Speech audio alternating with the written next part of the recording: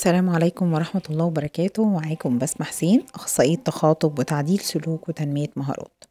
حلقة النهاردة بتتكلم عن الحرمان البيئي والتوحد. هو إيه الفرق ما بين الحرمان البيئي والتوحد؟ السؤال ده بيكرر كتير كتير جدا. وفي أطفال كتير مظلومة بسبب إن هم اتشخصوا غلط. ويقول لك ده طفل توحد وهو أصلا طفل حرمان بيئي أو إن هو طفل نورمال ويقول لك ده طفل حرمان بيئي. طيب إيه الحاجات اللي تعرفني الفرق ما بين الحالتين؟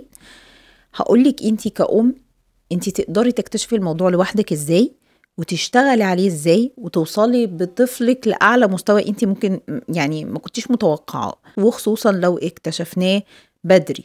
اكتشفتي أي حاجة بدري وبدأتي تحطي إيدك عليها وتعالجيها خلاص الدنيا بقت سهلة جدا وهتتلاشى وهتحسي إن هي أصلا ما كانتش موجودة. طيب يلا ندخل دلوقتي على إيه الفرق بين الحرمان البيئي والتوحد؟ اولا الحرمان البيئي دي حاجة مكتسبة. يعني طفلك انت كان هو نورمال جدا ومفهوش أي مشكلة وبسبب إن انت عملتي له بصي هي جاية من نفس المعنى. إن انت عملتي له حاجة اسمها حرمتيه بيئيا. حرمتيه خليتي البيئة بتاعته فيها حرمان أو فقيرة أو ما فيهاش معززات تساعده وتشجعه إن هو ينمو نموا طبيعيا. يعني إن يبقى طفل طبيعي بيكبر في بيئة طبيعية فيها مثيرات وفيها حاجات بتضحكه وحاجات بتخليه يجري وحاجات تعيطه وحاجات. لا أنت عاملة هدوء شديد في البيت. سايبة طفلك طول الوقت قدام الموبايل أو التلفزيون. عبارة عن طفل مستقبل وليس عنده قدرة على التعبير ولا بيعبر ولا بيتكلم هو قاعد بيستقبل معلومات من التلفزيون والموبايل وساكت. ما اكتشفش مهارته أصلا إن هو إنسان ويقدر يتكلم ويتعامل. هو مفتح عينيه وودنه كويسة جدا وعمال يبص ويتفرج على رسوم متحركة بتجري قدامه بسرعة وفي نفس الوقت كمان أصوات وحاجات بتقع وألوان. لكن فين بقى الطفل إن هو يبدأ يلعب ويقوم يشارك ويع... ويعيط على حاجة ويطلب حاجة ويقول لك عايز كذا ومش عايز كذا؟ والأم تبقى فرحانة جدا ده ساكت. حتى وهو بياكل بتأكليه قدام الكرتون وقدام الموبايل عشان ياكل. طب هو فين الطفل؟ فين حياته؟ هي دي بقى جت من هنا الحرمان البيئي. كمان بنلاحظ إن الأب والأم أصلا شخصيات هادية في البيت حتى نظام الشغل بتاع الأب والأم ممكن الأب بيجي بالليل جدا فما بيقعدش مع الطفل يلعب معاه ويتعامل معاه. الأم بترجع برضو من شغلها تعبانة ما بتصدق إن هو تجيبه مثلا من الحضانة أو إن هي تنيمه أو هي طول الوقت البيت هادي. مفيش قرايب بنروح لهم مفيش أطفال أصغر منه أو أكبر منه. يعني انت المشكلة في العيلة إن مفيش حد بيلعب مع الطفل أو إن هو حد بي بيتفاعل معاه. فمن هنا بقى حصل مشكلة الحرمان البيئي ممكن الطفل أصلا تلاقيه ده كان بيلاغي ده كان عنده تواصل بصري ده لما كنت بسقف له يبص لي ده لما كنت بلعبه ألاقيه بيضحك. هو دلوقتي ما بقاش بيضحك ما بقاش بيبص لي ما بقاش بيعيط على الحاجة. ما بقاش بيتكلم. ده كان قال لي كلمة ده في كلمة ظهرت وقال بابا أو ماما. دي حتى الكلمة ما بقتش تتقال. تراجع في اللغة تراجع في المهارات تراجع في, في التواصل البصري في كل حاجة بقى. انت بتلاحظي بداية تراجع كل حاجة. من هنا بقى الأم بتبدأ إيه ده؟ أنا الطفل فيه مشكلة. طيب في بعض الحالات بننصحها لو هو حرمان بيئي وإحنا حطينا إيدينا وعرفنا وعملنا دراسة الحالة وعملنا قعدنا مع الأب والأم وعرفنا الظروف البيئية اللي الطفل عايشها فمرجح مية في المية إن الطفل ده حرمان بيئي. طب نزليه حضانة. لا أنتوا لازم تبدأوا تخرجوا. لا أنتوا لازم تغيروا روتين حياتكم. من هنا بيلاحظوا إن الطفل بدأ فعلا يتغير. طيب طفل التوحد. لا إحنا بنلاحظ بقى إن طفل التوحد من أول ما بيتولد ما بيبقاش ساعات عنده تواصل بصري. هو أصلا عنده استعداد. خلي بالكم في بعض حالات توحد بيبقى عندها استعداد بس بالظروف البيئة والحياة وفي تفاعل وقرايب وخروجات ومش عارفة إيه تلاقي الطفل سمات التوحد أو حالة التوحد اللي هو ممكن لو كانت اتوفرت بيئة تانية غير البيئة دي كان ممكن فعلا دخل في إطار التوحد.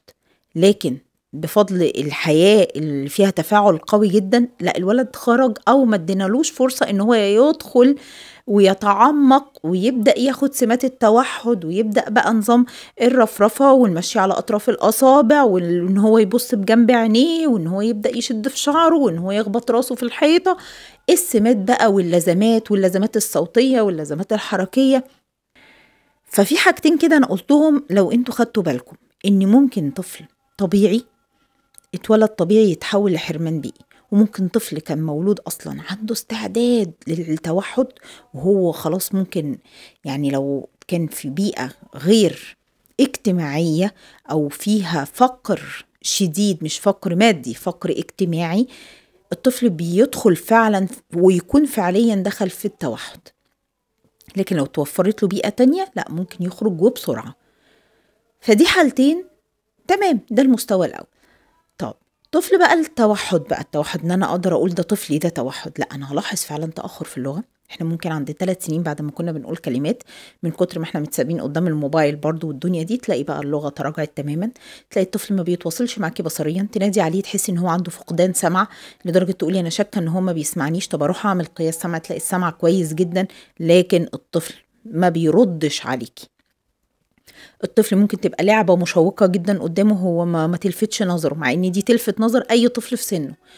آه الطفل ما بيضحكش لما بيضحكيه. يبدأ بقى فيه لزمات صوتية لزمات حركية يبدأ يرفرف بإيده يمشي على طرف صوابعه تلاقيه بيبص بجنب عينيه. آه ينهار لو التلفزيون اتقفل. ممكن يقعد بالساعات قدام التلفزيون. هي دي بقى الفيصل ما بين التوحد والحرمان البيئي. حرمان بيئي لا هو ممكن يكون بيتكلم لكن مش اجتماعي. إحنا كأخصائيين بنقعد مع الطفل بنعرف آه لا ده توحد. وده حرمان بيئي. إيه ده؟ طب ما هو الحرمان البيئي ده على فكرة في بعض الحالات بنلاقي فيها لزمات. ده هو ده كده توحد لا. ليه؟ لأن في حاجات تانية هي القوية اللي بتخليني أفرق ما بين ان ده توحد وحرمان بيئي عارفين إيه هي؟ شدة العرض أو شدة اللازمه أو شدة الإصابة. زي مثلا إيه ده؟ لأ آه هو بيتكلم بس مش قوي. إيه ده؟ ده بيرفرف أو بيمشي على أطراف أصابعه بس ده كل فين وفين. لكن التاني الطفل التوحد لقيت الموضوع وبقوة. يعني بيمشي على أطراف أصابعه كتير أصلا ما بيعرفش يحط رجله كاملة على الأرض. ده طول ما هو ماشي ماشي على أطراف صوابعه. ده بيلف كتير حوالين نفسه. ده بيحب يلعب بالألعاب يقعد يدورها. ده بيرفرف كتير. الشدة. ده الفرق ما بين الحرمان البيئي والتوحد. بتلاقي السمات دي أو الحاجات دي في الحرمان البيئي بس بدرجة طفيفة. ممكن تتعالج وتتلحق؟ آه طبعا ممكن تتعالج وتتلحق. وكمان أطفال التوحد لو لقيت طفل لسه في سن صغير وبدأت تظهر الحاجات دي لا بإيدك جدا كأم تقدري تطلعي طفلك منها. أنا بسمي التوحد ده الحرامي اللي عايز يخطف الطفل من من من أمه. دور الأم بقى هل هتسيب الحرامي يخطف طفلها ولا هتعمل أقصى جهدها إن هي تحمي طفلها وتاخده منه؟ فهي بقى هي دي الفكرة. هو ده الفرق ما بين الحرمان البيئي والتوحد. شدة. ظهور الأعراض دي بشدة. فين؟ في التوحد. لكن في الحرمان البيئي لا بتلاقيها طفيفة وعلى فترات متباعدة. أتمنى أكون فدتكم في فيديو النهارده ووضحت لكم الفرق ما بين حرمان بيئي والتوحد. لو في أي حد عنده أي سؤال يكتبه لي في التعليقات وأنا هرد عليه على طول. كان معاكم بسمة حسين أخصائية تخاطب وتعديل سلوك وتنمية مهارات.